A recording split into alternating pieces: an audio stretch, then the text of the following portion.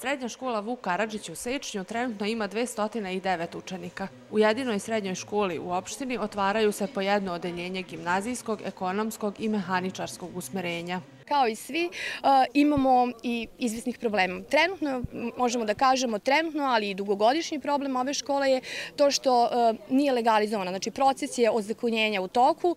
Deca iz opštine Sečanj neretko se odlučuju da nakon završene osnovne škole srednje obrazovanje nastave u većim mestima, te se lokalna samouprava trudi da pomogne opstanak ove srednje škole. Ono što lokalna samouprava radi jeste, to ostaju svi već godinama unazad, da su besplatne mesečne karte za naše srednjoškolce koji putuju iz ostalih mesta u opštinu Sečanj i mi ćemo tu taj trend nastaviti i gledat ćemo maksimalno da izađemo u susret i pomognemo koliko god je u to u našoj moći.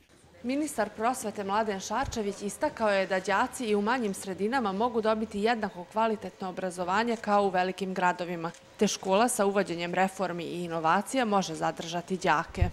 Mislim da moramo mnogo više da se pozabavimo onime što e, ne samo lokalna sredina zahteva, nego i neka regionalna sredina. Blizina zemljena nije mana, možda bude vrlina.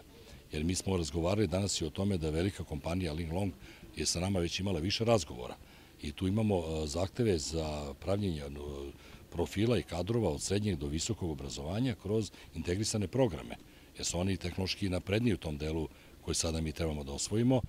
Zgrada srednje škole Vuk Karadžić izgrađena je još 70. godina i od tada na njoj nisu obavljani veći radovi. Trenutno je potrebno obnavljanje fiskulturne sale, nabavka nove opreme za informatički kabinet, kao i obezbeđivanje adekvatnijeg prostora za biblioteku.